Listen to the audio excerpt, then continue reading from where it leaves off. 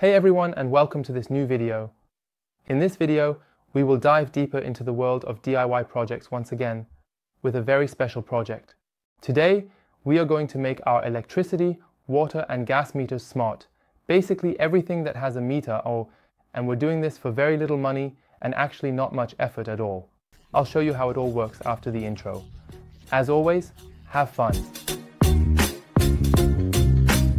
So, a meter that is at home and that you want to make smart always sounds like a dream idea. And I have already digitized the electricity meter that we have here. It has an IR port that blinks. If you have something like that as well, I will link you to the video I made about it. But of course, that is an idealistic view.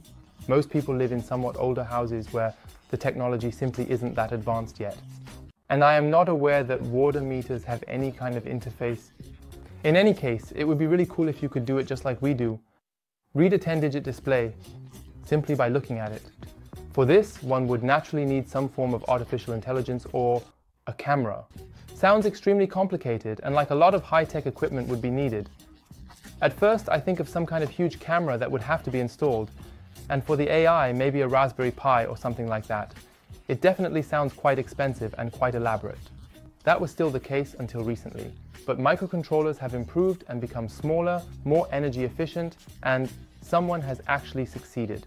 The entire project we will discuss today is called AI on the Edge. So it is literally on the edge, because I really can't even imagine what must be happening in the background for it to work. It is truly an incredibly elaborate project, so great praise to the person who developed it. What we need for this, in any case, is the ESP, which we have also used in some other projects, and an ESP, CAM. As you can see here, this is a super, super small camera that can be connected to the ESP. Importantly, this is a special board that also has a corresponding connection. I will link it for you below in the description. You can get a pack of two for around 15, so it's actually quite, quite cheap. However, there is a disadvantage to this setup, as we do not have a USB port here. To install everything, we need to connect a USB flash adapter. I will show you an image of how to connect everything.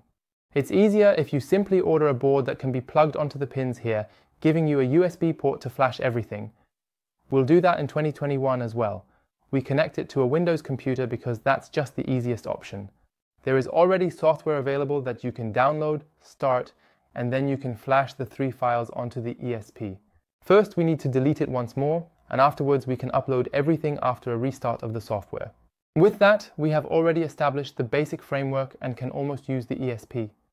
What is still missing is the SD card. It should not be too large. I would say a maximum of 16 GB. You need to copy the contents of the SD card folder and especially the Wi-Fi configuration is included there, which we need to enter here. Once we have done that, everything should be ready. We can connect the whole setup normally with 5V, either through the USB port or via the two pins ground and 5V, and now we just need to attach it somehow to the water meter. I will also link a cool print template that you can easily print yourself. Then it fits perfectly on the water meter, and you can adjust the height with different units to either move it further away or bring it closer. Now comes the configuration part of the whole setup, because the camera here actually has a focus that can be adjusted manually. However, it is not made very well because someone thought for some reason that hot glue should be smeared on it. That's why there is a small drop of hot glue on the focus ring, which needs to be loosened with a bit of jiggling and then the focus can be properly adjusted as the water meter is ideally relatively close to the camera and therefore the focus needs to be adjusted accordingly. Now we can also connect to the web interface. There we can configure everything by entering the IP address of the ESP and then we will reach the configuration page and can start setting everything up. First of all, we need to take a reference image. To do this, we click on Create New Reference, then the light on the ESP should turn on and after a few seconds the reference image should appear. Here we need to play around a bit. First, we need to adjust the focus to ensure the image is nice and sharp, and set the brightness by turning down the flash brightness to minus 1 or minus 2, depending on what fits best. We also need to adjust the rotation so that the image is nice and straight. You just have to fiddle around a bit until you get it looking reasonably good. Once it looks reasonable, and you should really take your time with this, you can click on the next step. And here we need to choose two reference points that are as far apart as possible so that if something shifts, the AI can automatically recognize how much the image has shifted and can then automatically adjust your UNT markers. Now we can start with the digital meter. Therefore, let's go through all the numbers and try to ensure that the inner red circle encloses the number as closely as possible and that the line in the middle is centered on the number. Let's do this for each individual number. Only three pieces were specified here. Accordingly, we would need to click on Create New ROI. I named it Digit 4. Then adjust everything again and create a new one. And when we have finished that, we click on Save All to Config INI, then we click Next again, and now we can set the analog meters. 2001, we will do this one after the other. Start at 0.1, then go to 0.01, and then to 0.01. The last analog 4 is not necessary in my case because the meter simply doesn't have one. This means I just clicked on delete ROI and then save config to INI. In the next step, I can now adjust the configuration again, insert MQTT, and check everything. I'll do all of that later. That's why I pressed use and save config again, and in the last step, selected leaf setup mode and reboot to normal to save everything and restart the ESP. This takes about 5 seconds and then we will be on the main page.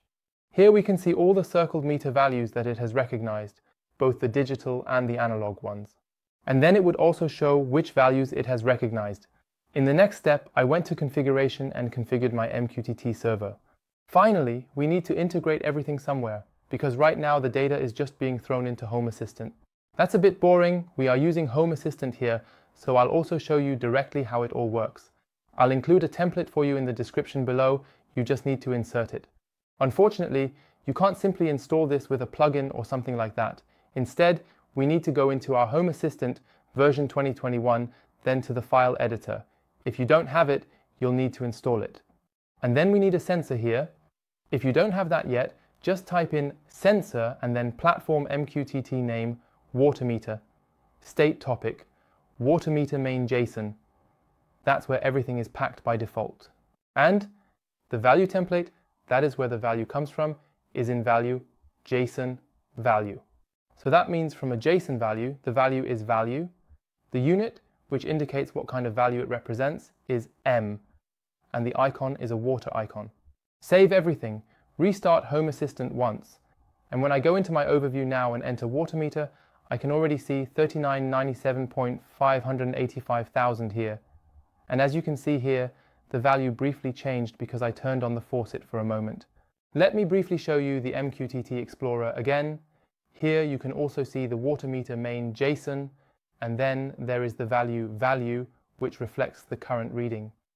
You will also get the timestamp and a few other things, but we don't need those. The value is enough for us. And just like that, we have the water meter integrated into Home Assistant. If you have any questions or if anything is unclear, feel free to write it in the comments below. As mentioned, it works in principle with any meter, whether analog or digital, as long as the analog meter is round. It doesn't have to be a water meter, theoretically it could also be a gas meter. There are also templates for that, which I will include in the description below. Otherwise, that's it for this video. I hope you enjoyed it and maybe even found it helpful. If so, I would really appreciate a rating, 2001, and then I would say, see you again next week, hopefully this time on Wednesday at o'clock. Until then, take care and ciao.